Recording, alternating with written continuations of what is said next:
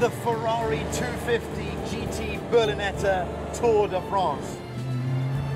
It's a car named after the legendary race. No, not that one, the other one. The Tour de France automobile. They called it the toughest car race in history. An entire lap of France. 4,000 odd grueling miles over 10 days on road, track, and dirt. The Tour de France made the Le Mans 24 hours look like a Sunday fun run. It ran for nearly a century, but its glory days were the end of the 1950s, where this Ferrari 250 Tour de France cleaned up, winning every year it competed. Only 77 were ever made, and this one is worth £5 million. They were easy to drive, long distance, they were reliable. But they were also quick. This one can do 160 miles an hour. Which is thanks to a 3 litre V12 producing 250 horsepower, which by 1950 standards was a lot. What's it like into this hairpin? Second, heel and toe. First, wow. Bit of understeer. Get on the gas early, grab second. Listen to the noise. My first day in the job. Can't believe they've given me a five million pound Ferrari to throw around. Wouldn't make the best introduction to the BBC insurance department, would it? Hi, yeah, Chris here. New bloke. The Tour de France race didn't just run on road, they'd also stop off for a blast around any track they found along the way. Tracks like this one Circuit Paul Ricard. Fast,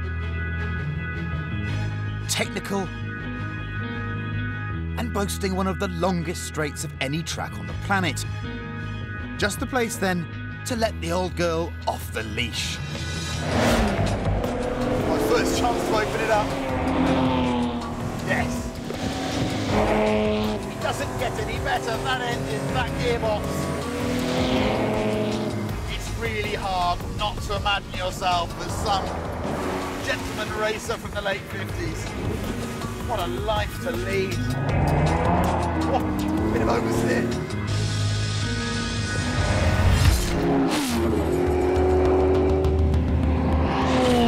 This is the most powerful V8 Ferrari ever made.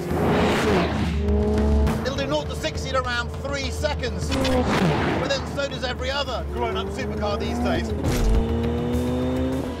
What really matters here is that from a standing start, after 10 seconds, it's doing 140 miles an hour. 10 seconds! Crikey, that's fast.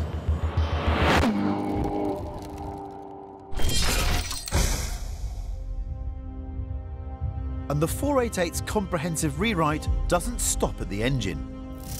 A quarter of a million pounds also buys you F1 grade aerodynamics and an exhaust made of Inconel, which is the same stuff they use in rocket engines. Inside, meanwhile, every inch of the interior has been pared back to save 90 kilos in weight. All of which makes the Pista about nine tenths of a racing car for the road. Which comes with its downsides.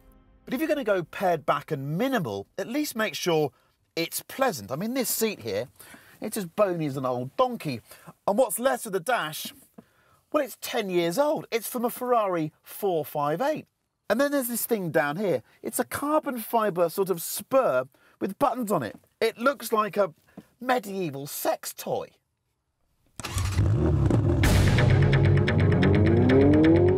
The threadbare surface, however, lurks a lot of very clever electronic assistance.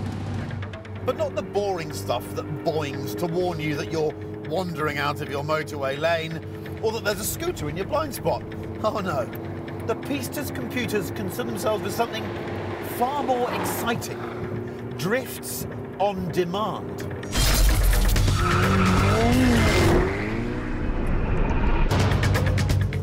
Ferrari calls it side slip angle control 6. basically will tickle a brake alongside the electronic differential to keep you in line. Or rather, out of line. It's genius. Sliding a 700 horsepower Ferrari shouldn't be this easy. But the Pista makes it child's play. There's no question that with the Pista, Ferrari has done it again. Wow!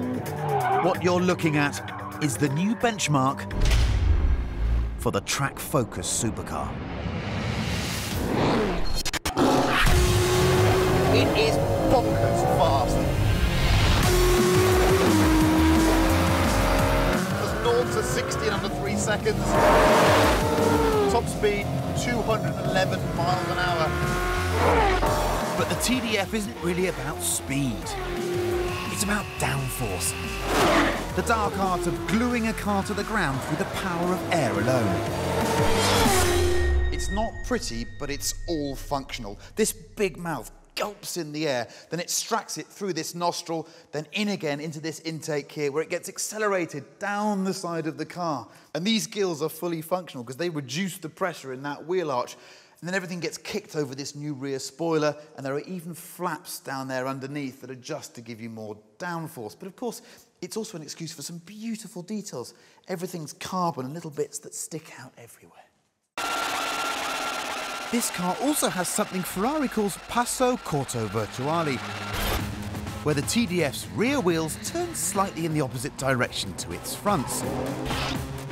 They say this makes cornering more nimble. I say more scary. Ferrari said it created this car to be challenging, to be a bit of an animal. By George, it is. I'm using about a quarter throttle here in third gear, and I'm completely sideways. I don't think I've driven a car that wants to oversteer more readily.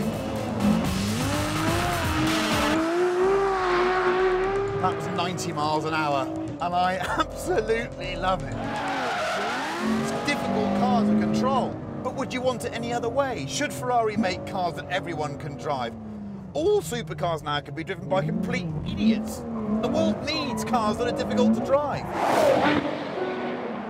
Compared to the normal F12 then, the TDF is easier to crash and less easy on the eyes. And it costs £100,000 more. But none of that matters. You want a car that makes the hairs on your neck stand up, that makes every nerve in your body dance, like it's at some insane 90s rave every time you push the throttle. This is it. This is that car.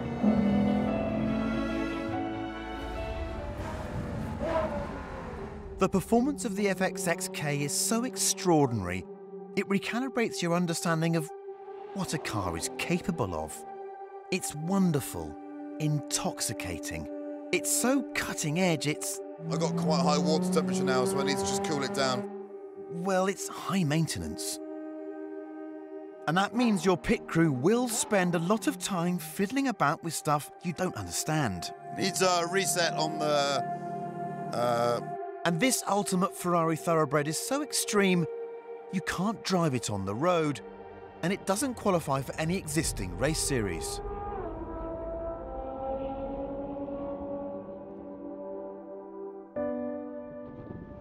So as a car, the FXX-K doesn't really make sense. But it's not meant to. It's not really a car. What it is, is a ticket to the most exclusive private members club on the planet. And this club has one final, members only benefit. You see, up to now, the car has been holding back, saving power to make sure its batteries never run flat. But the FXX-K has something called Qualify mode, and that gives you all the petrol power and all the electric power in one massive hit. maximum attack for one lap only. And, well, since I've only got one lap left, well, you can't take it with you.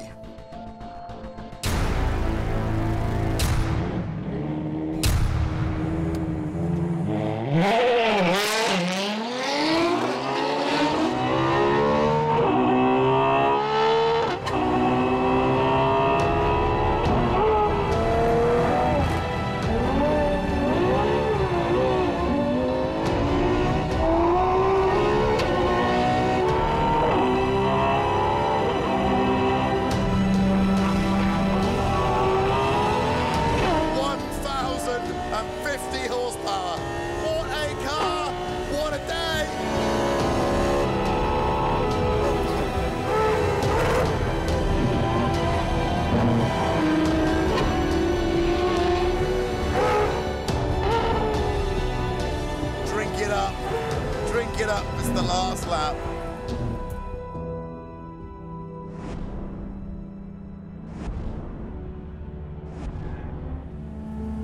Unbelievable. I'll never get to do that again. I'm staggered I've had a chance to do it in the first place.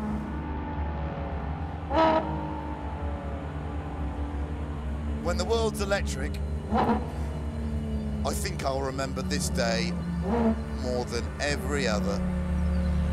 Hum.